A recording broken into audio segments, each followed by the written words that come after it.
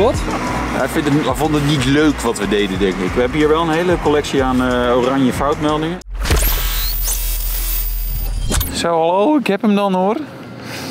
Ik weet eigenlijk niet meer precies het jaar, maar het is 2007, 2008 dat ik voor het laatst de sleutel van een nieuwe Honda in mijn handen had.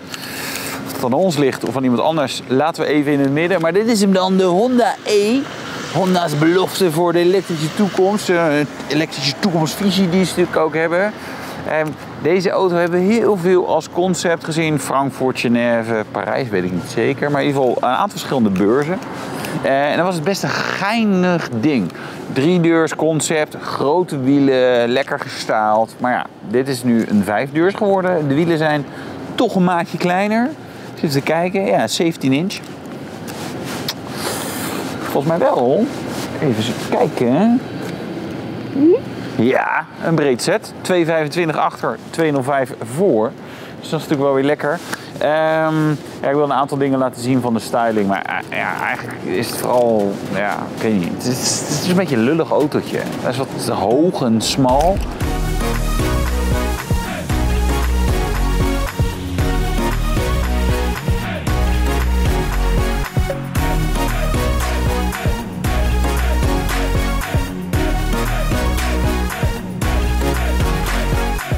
Typisch Japanse eh, styling zou ik bijna willen zeggen. Nee, daar die grote steden en daar past zo'n auto. Eh, en jullie vroegen natuurlijk af wat dit is voorop. Nou, daar heb ik een knopje voor. Druk dan op en dan... Toedoe. Daar zitten dus de laadkleppen. Het voelt voor mij een beetje onhandig dat dit nou ja, zo horizontaal ligt. Ik denk, ja, als er dan toch water in moet kunnen vallen, is dit wel de manier. Eh, dan zou je ongetwijfeld niet kunnen rijden met het klepje open. Dat ga ik even proberen trouwens.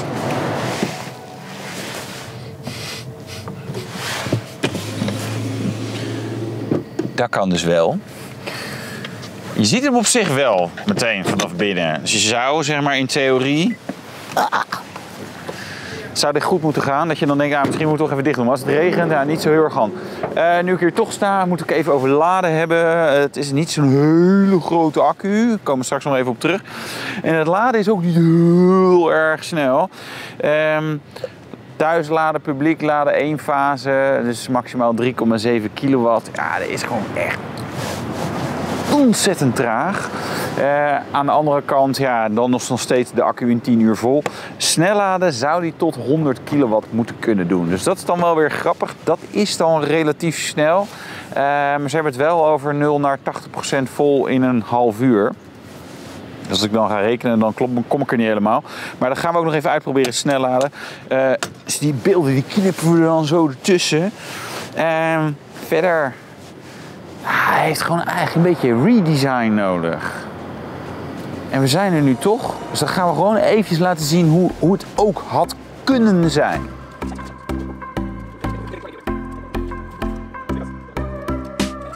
Ja jongens, hè? Van uh, Boters. Je ziet dat wij dat ook wel kunnen.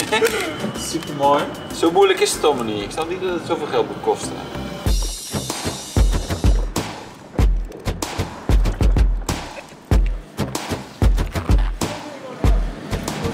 Wel wordt een stuk beter. beter.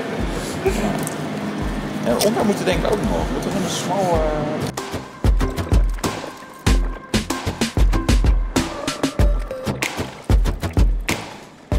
Nu nog even iets doen aan, eh, aan de velgen.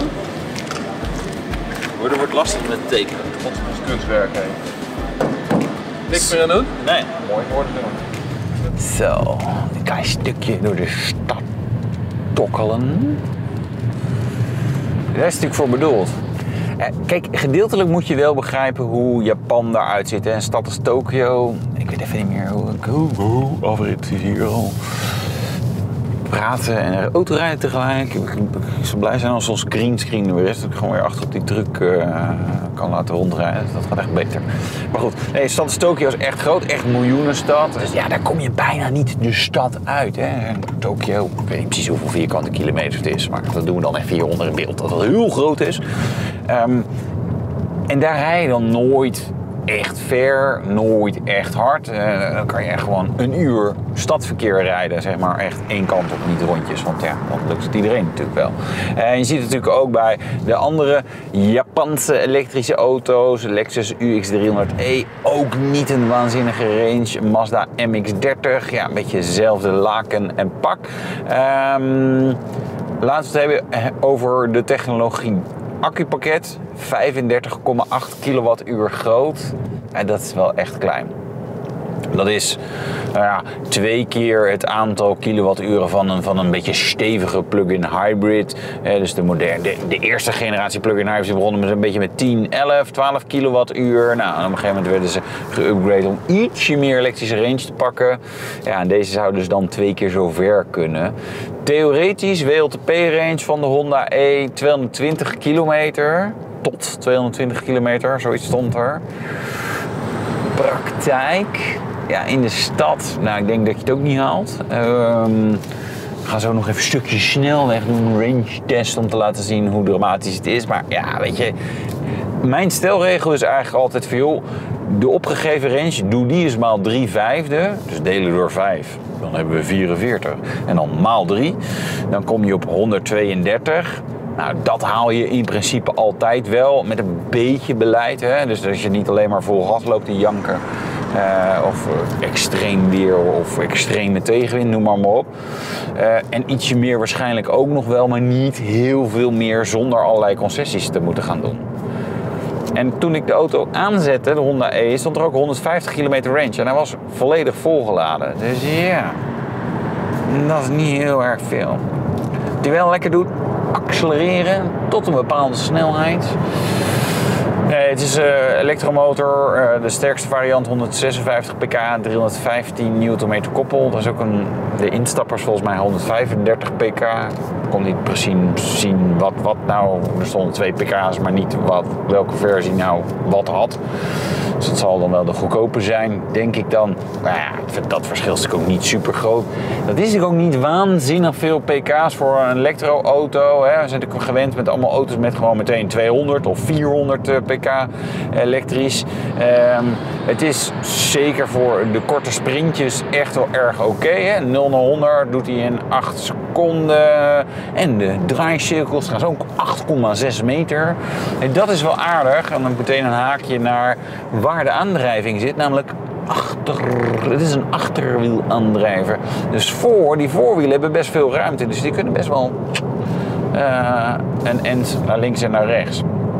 Dus hij is wel echt wendbaar. Dus dat is wel super.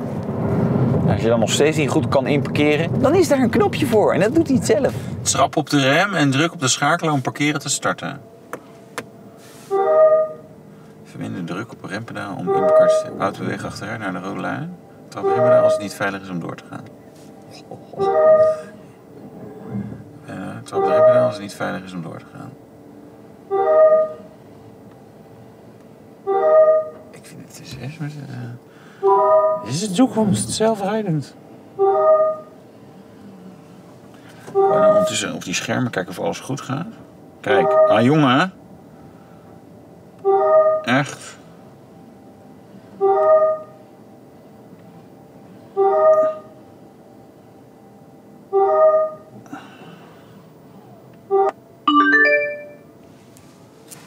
Briljant.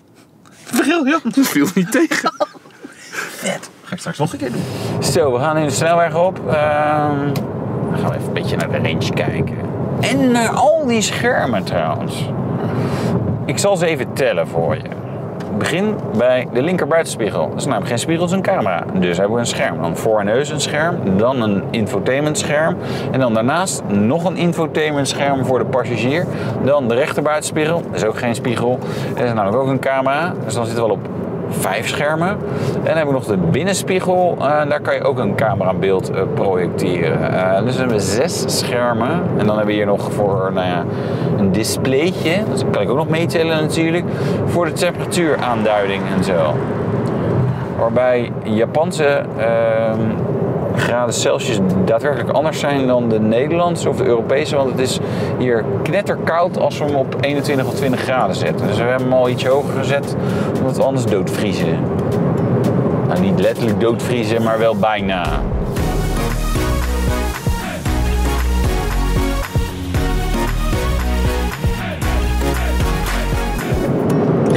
Het probleem van deze auto wel samenvat hier in het beeld. We hebben 79% accu en 117 kilometer bereik. Dan gaf ik net even vol stroom de Brienenoord op, dat dan weer wel.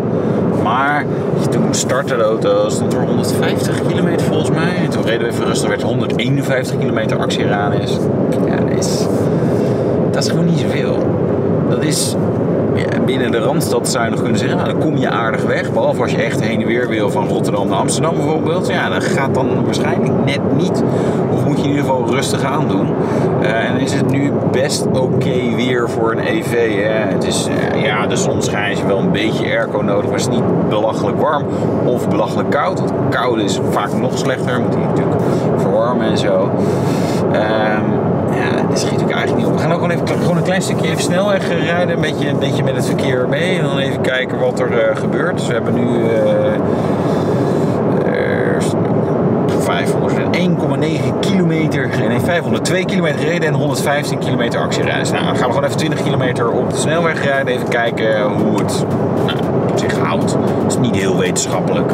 Maar ja, dat ben je toch ook niet van ons gewend. Of wel soms.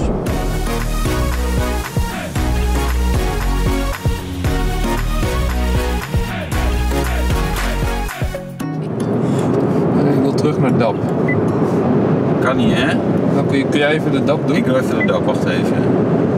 Hebben we hier DAP? En nu ben jij de DAP. Ja, kijk, en dan, eh, die was het. Tappen de kan taal. ook hier hoor. Oh, wacht. Ah nee, doe maar even mijn kant op. Nee, ik wil niet. Ik wil deze niet. Boy, dan kan ik de radiozender kiezen. Ja. BNR natuurlijk. Ja, wel zo luisteren. Yeah. Maar dan kun je links nog iets doen. Eh, ja, krachtoverbrenging bijvoorbeeld. Je hoorde de piep en daar verschijnt dan ook het scherm. Zo'n soort vooraankondiging. Ik kan ook... Dat is een piepen. Oh, ik moet sturen, sorry. Nee, ik deed toch dit, jongen. Ehm, navigation. Dan doet hij geen piep. Maar we rijden hier op de snelweg. Ah, nou, dan doe ik even het aquarium hoor. Oh, dan gaat hij op alle Ja, dat beide schermen. eh, tijdens de rijden, toch? Dan krijg je net een melding. Eh, het is een aquarium zonder licht. Ah wel, hier. Ja, hier. Nee. Maar het is toch hilarisch langzaam? Het slaat toch nergens op? Nou ja, goed. Dat willen we dus niet, want dat mag niet. Hebben wel een mooie Bloemen. bloesemfoto. Ah, dan doe ik hem even weer op DAP. Oh nee, dan moet jij hem weer op DAP doen. Ik doe hem even op dap. Dan haal ik hem even naar deze kant. Ja. Zo. En dan doe ik krachtoverbrenging. Want we waren range testen. Ja, zo. Nou, mooi.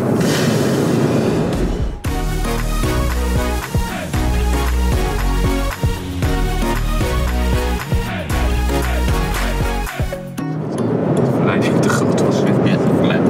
Ja, die power, hè? De volleiding was te groot, jongens. Nou ja, we hebben toch even, even gas gegeven. Maar dat zie je ook echt? Het stort gewoon in die range. Ja, ja, ja, ja. Ik ben nog aan het sturen. Ik heb van die zelfsturende functies, maar volgens mij staat het nu uit.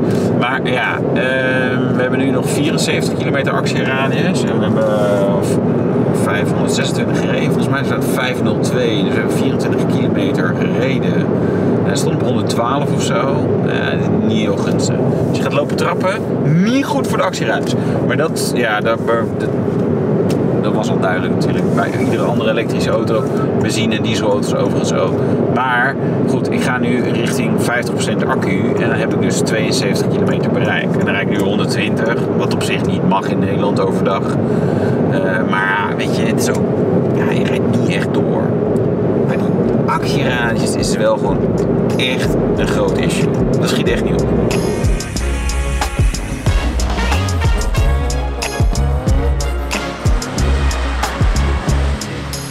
Driftkunst, jongen! Oh. Ik waar ik wel meteen last van heb. Dat ik denk, deze stoelen zijn echt te vlak. Die gaan me niet heel erg op mijn plek houden. Ik heb toch niet heel erg het gevoel dat, dat het episch eh, driften wordt. Jullie wel?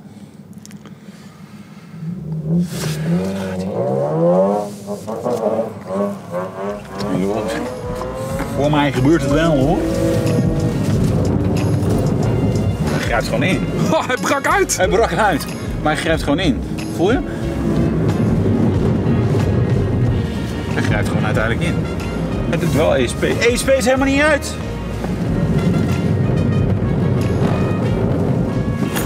Als je tegen gaat sturen.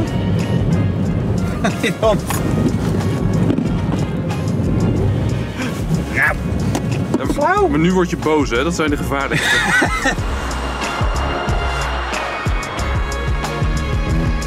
Knap hoor.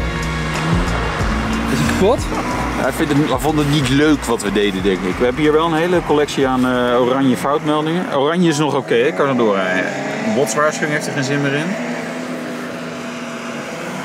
Ja, maar vaak als je ESP helemaal uit doet, gaan dat soort dingen ook uit. En dus ik denk dat het nu gelukt is dan, helemaal uit. Maar ik was iemand aan het filmen die het wel goed komt. Toen kwam jij dwars door beeld. Oh ja, sorry.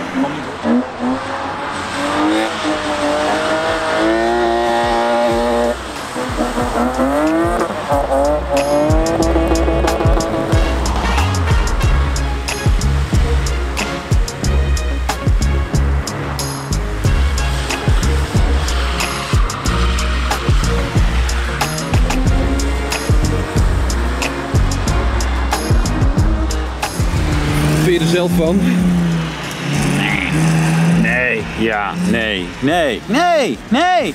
Nee, ja, weet je, het, hij gaat wel dwars. Kijk, ik denk dat dit het type auto's het leukste is als je dat, dat systeem uitzet. Dat je dan, op, als het heel glad is, even dat hij een beetje uitbreekt. En dan grijpt hij in principe gewoon in. Behalve als je deze hele batterijfoutmelding hebt die wij nu hebben. Nu zijn volgens mij alle systemen echt wel uit. Waarschijnlijk ook als we crashen gaan de airbags niet meer af en zo. Maar weet je, het is natuurlijk ook een type auto. Ik bedoel, een batterijpakket zit wel in de vloer. Maar je, ziet, je voelt en of hoort hem gewoon waggelen. En nou, je, eerst even onderstuur. En dan af en toe gaat hij wel. Ehm, maar hij is ook niet voorspelbaar ook in, in wat hij nou precies zeg maar, naar welk achterwiel gooit. Want er zit natuurlijk geen diff en zo op. En, en, je ik ook het idee van elektronica probeert af en toe nog even ergens mee te helpen. Dus nou ja, goed. hey, dit wordt dus niet de toekomstige driftauto. Dat dachten we al niet, maar nu weten we het zeker.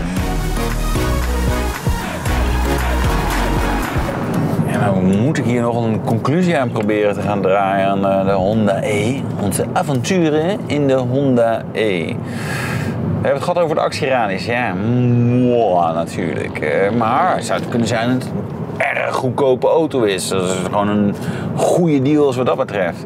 Eh, maar laat ik je meteen uit die droom helpen dan maar. Even kijken. Een schermpje of ik er tussen kan. 34.500 euro is de Honda E. En dan eh, heb je de basisversie, de versie is 37, dus iets duurder. En dan komt er nog bij de afleverkosten en zo bij. Dus kijk, qua bijtelling nog dit jaar, 2020, natuurlijk 8% over dat volledige bedrag. Ja, dat valt dan allemaal wel mee.